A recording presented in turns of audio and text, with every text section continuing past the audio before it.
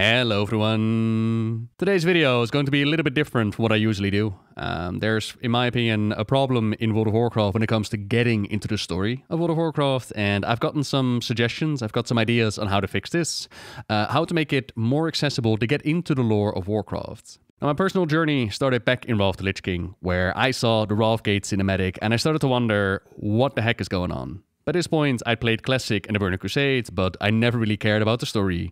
That all changed with one single cutscene. Who were these people? And so I closed the game, I opened up Wikipedia, and before I knew it, I had 50 tabs open. I was devouring all kinds of information on the game that I played for so long now. And that is about 15 years ago. 15 years of added storytelling. And the problem that existed back then, it still exists today.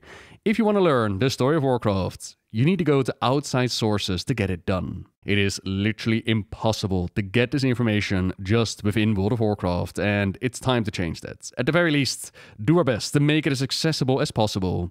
The concept that I have in mind is something of a museum, but you can make it whatever it is, as long as it gets the job done. It will be available at any level, accessible through a portal at the Caverns of Time, landing you on an area similar to the Darkmoon Fair, so you don't have to worry about server lag or whatnot. It will be open 24 7 and for a story setting, a reason as why we're doing this.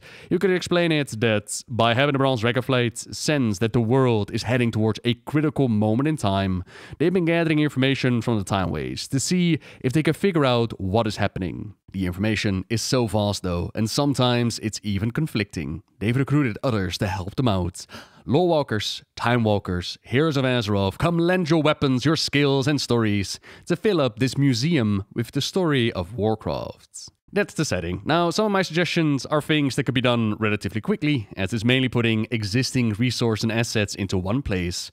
Other suggestions will require a bit more development time. Offer the ability to rewatch every cutscene in the game. The Wrathgate cutscene is what got me interested in the story, and through the years, many more cutscenes have been added.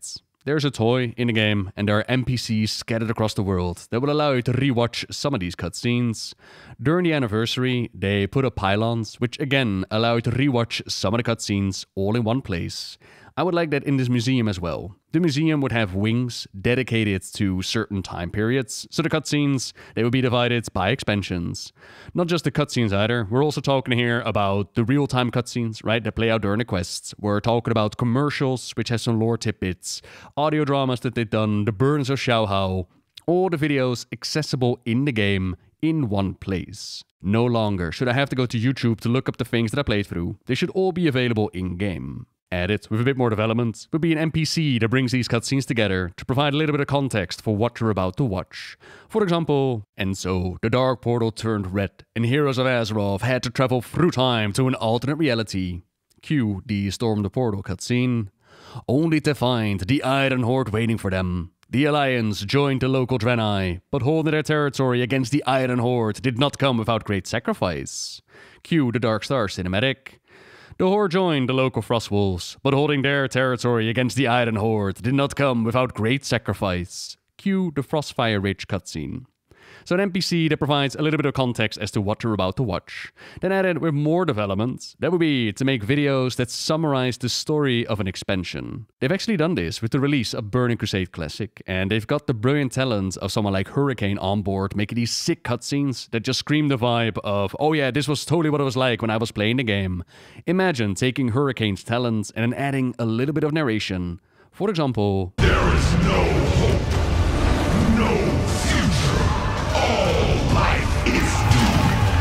The Alliance and Horde brought their wounded home after a successful campaign against the undead Scourge in Northrend. Arthas the Lich King has been dethroned, but little did they know that their short moment of peace it would be shattered apart by the Black Dragon Neltharion. The mad aspect Deathwing burst forth and transformed the surface of the world with the Cataclysm, while the factions themselves saw great changes as well.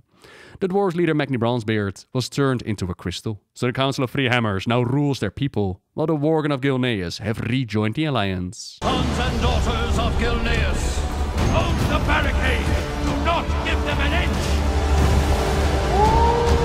The Tauren leader, Cairne Bloodhoof, was slain by Garrosh Hellscream in Mak'gora, so the Tauren are now led by his son Bane Bloodhoof, while the goblins of Kezan have joined the hordes. Varian Wrynn has managed to tame the rage within, has become the High King of the Alliance. just in time to see Thrall step down as war chief to focus on his shamanistic role and healing the world, leaving behind the much more aggressive Garrosh Hellscream as war chief of the Horde. Conflicts between the factions raged on, Deathwing worked hard on liberating his masters, the old gods from their prisons, bringing about the hour of twilight and shroud the world in darkness. The combined efforts of Azeroth's heroes, Shaman Thrall, and the Dragon Aspects, they were able to stop the madness of Deathwing and bring about the dawn of the Age of Mortals. Neltharion, it is time to end this.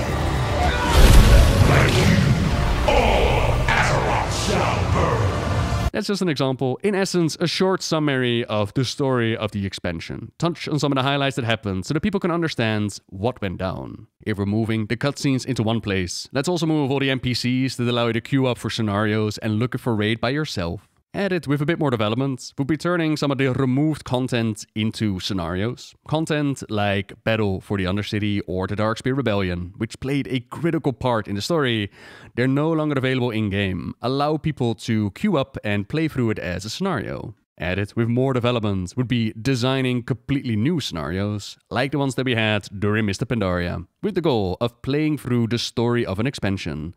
A 15 to 20 minute experience in which adventurers they can solo queue or go in with a group of three and they could relive the highlights of the past. Blast through the watery Coilfang, Lady Vashj and her Naga to then re-emerge and join Akama in climbing to the top of the Black Temple. What's that in the distance? Does somebody hear shattering glass? Kael'thas Sunstrider and the true darkness in the shadows. Kil'jaeden awaits. Push the Lord of the Legion down the toilet bowl and return hope to the Blood Elves with a reignited Sunwell. There you go. You now played through the story of the Burning Crusade and you're up to speed on what the story was back then. Gather the knowledge available in game. There are many different letters, books, and scrolls scattered throughout the world of Azeroth, and some of those still clog up my bank. While most of it is no longer relevant or even accurate, it still offers a insight, a look into the history and the adventures to be made along the way. We have a postmaster NPC which loves to sort things. Let them sort out our scraps of paper into books, into a library. Move all these individual pieces of information into one place. From this library, we could also add the option to open up books and comics in-game that are currently available online on the WoW website. Added with more development would be an in-game lore codex. They presented an update to the UI with BlizzCon, which could be used for compiling the lore that we find in-game. Imagine standing in front of Jaina Proudmoore, and there's a button that you could click on, and your book will open up with different tabs for different expansions. The default tab would be Classic and Before, but you can browse through history, through the different expansions. On the left, there will be a synopsis on the story so far. On the right, there would be a model, and that model would update itself depending on the expansion that you're checking out. Bonus points if we could get this narrated. If we get the narrator from uh, Baldur's Gate 3 in here, or maybe the voice actors of the character themselves oh, it would be fantastic. Like, I know it would be a lot more work, but hey, shooting our shots, right? This could also be used as a way to improve the overall questing experience. A new player is expected to know a lot just based on the quest text. For example, my, my brand new mage got into Orgrimmar and they were told, We rescued Princess Talanji of the Zandalari from the stockades in Stormwind. I have no idea who or what they're talking about, and so I zoned out. What if keywords like Talanji, Zandalari, Stockades, and Stormwind would actually be clickable, and upon clicking, a page in the codex would open up, giving you a description of what they are, what they're talking about, an in-game Warcraft wiki. Added with more development would be the gathering of scrolls and books turned into gameplay and rewards. Back in Mists Pandaria, they did this with the introduction of the Lore Walkers. Across the zones, there were scrolls that told a story on their own. Turn in the collection of scrolls, and Lore Walker Cho will tell you a little story. Get enough reputation, and then there was like titles and mounts and all the good stuff to be earned. Imagine making a collection out of the current books and scrolls that we have. For example, dive into the origin of Warcraft, so books and scrolls related to the Black Empire, the Ordering of Azeroth, the Titans, the discoveries in Zereth Mortis. Get the series complete, and you get a narration on the origin of Warcraft. Get a series of certain books for the story, and you would have an audio visual presentation of that story. That's a baseline idea behind a museum, combining the gathering of Warcraft lore into one place where it's accessible for everybody. And since we are playing a video game, make it interactive. Make it an interactive experience where you can not only read the lore, but you can actually play through it. Building upon that idea, we can go further beyond. So we now have our bare bone halls where there's lore information to be gathered, right? Each wing can be dressed up in colors and art styles, reflecting the expansions and the themes that they're talking about drop some well-known assets like an Onyxia's head that could hang in the entryway. This is the Caverns of Time after all. It, it, doesn't matter if it's supposed to be somewhere else. You could just yoink it out of the timeline. A good use for those statues from the garrison as well. Add some toys, which allow people to dress up in the most horrendous transmogs at the time, or allow them to dress up like major characters, like the Arthas toy for example. This in turn could be used to provide tools for role players, give them some building blocks, some weapons, some ways of performing arts and plays and tell their own stories, give them tools to play with, and you just watch them fly. Speaking of stage, you added a fantastic way of catching up on the story in Ardenweald, where we played a funny role, explained to the people of Ardenweald what went down on Azeroth. Let's add a stage like that for every expansion. I'm sure that the performers from the Darkmoon Fair or those in Karazhan, I'm sure that they would love to be put to work again and share some epic tales. Give us the option to take part in these plays, jump in and join them. Also, villains of the past, like the daily quest in Ardenweald, they can make an appearance and a nuisance. Let them have their little villains corner and share their sides of things, their side of the story. Well-known NPCs could also walk in and exclaim that while it's really cute how we're playing out these stories and how it is like a lore museum, their experience was completely different. This one guy, he got really hungry for chicken, right? He threw his funds into the air and he took out all those dragons. I'm sure that for them, they had a completely different story to tell than those that just went into Blackrock Mountain compared to someone like Ragnaros, right? Different villains, different characters, different ways of telling the story. We've also seen Pandaren sing songs back during Mists Pandaria, explaining the history of Liu Lang and the Wandering Turtle. Why not add performers, bards walking around, and share tales of the past? You already have lore walkers offer quizzes to people. Remember how popular that Trivia Bot add-on was? Why not add an add-on like that in-game, like an NPC that does trivia rounds? You play some rounds, you put your name on the scoreboard, and then daily it resets or like hourly or whatnot. Get people interactive and get them to answer some questions. Could even, you know, could be a fun social thing to do. Hearthstone could be a great way to collect in-game cards and have synopsis written on the back, right? Like baseball cards, but in-game to teach you lore and make it fun.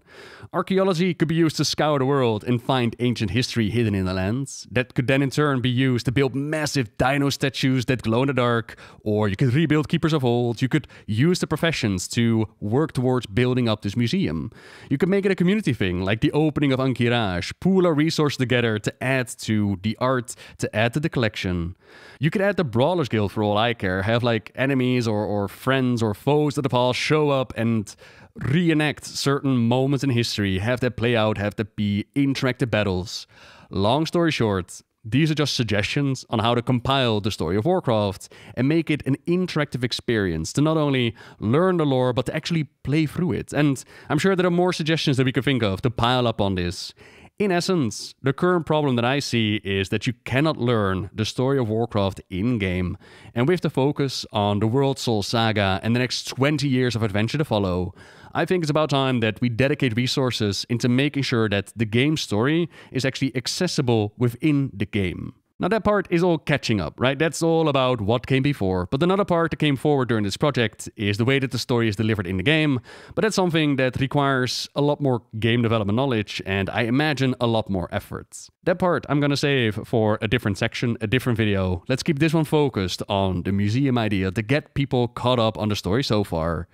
Which means, for now, I hope you enjoyed. And by all means, let me know your suggestions in the comments down below.